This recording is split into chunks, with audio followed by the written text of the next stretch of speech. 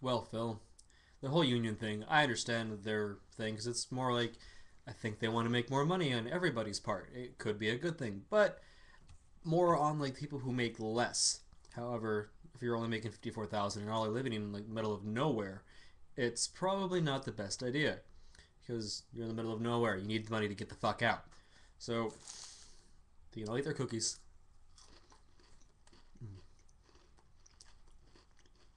The corporate cookie. Get along. Don't need to break the shit up.